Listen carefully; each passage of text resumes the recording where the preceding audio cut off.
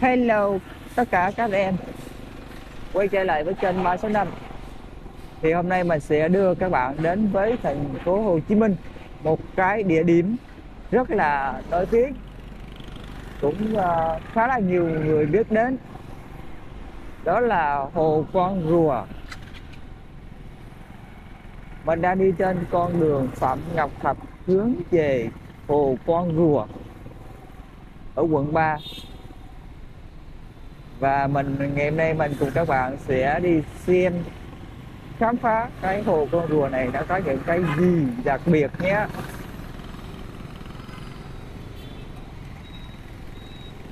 Tại vị trí hồ con rùa hay còn gọi là công trường quốc tế. Trước mặt các bạn, đó là một cái trụ đứng ha. Hình ờ, cái nấm, lộn ngược giống như cái đài xe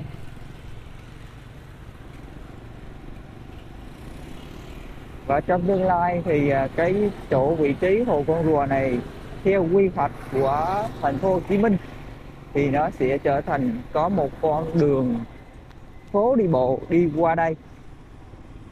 Và chỗ này nó sẽ trở thành một cái điểm du lịch khá nổi tiếng, không chỉ ở người thành phố trong Việt Nam và còn cả quốc tế.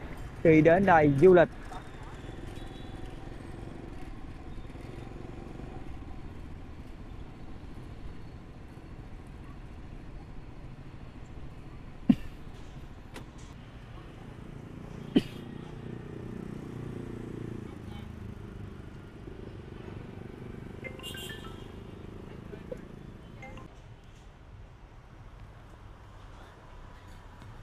ở đây là công viên công trường quốc tế.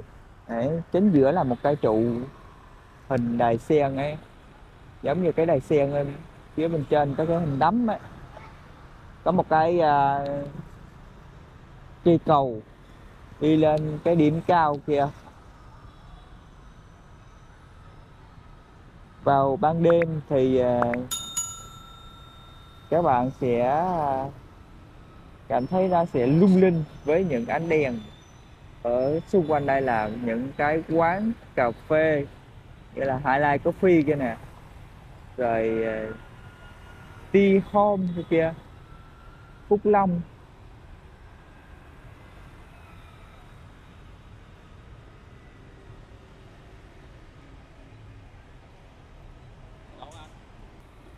Cái hồ con rùa này nó nằm cái vòng xoay của các con đường như là Võ Văn Tần, Phạm Ngọc Thạch. Rồi cái chỗ kia là đường gì kia ta?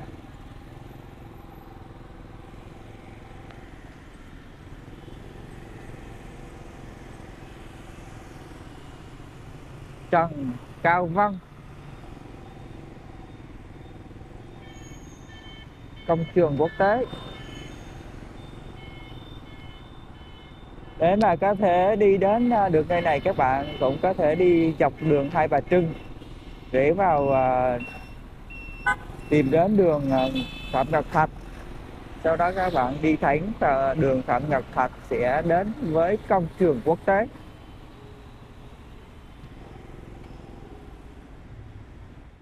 Các bạn mà xem video yêu thích các bạn hãy à, đăng ký theo dõi kênh để đón xem những à, video mới nhất từ kênh 365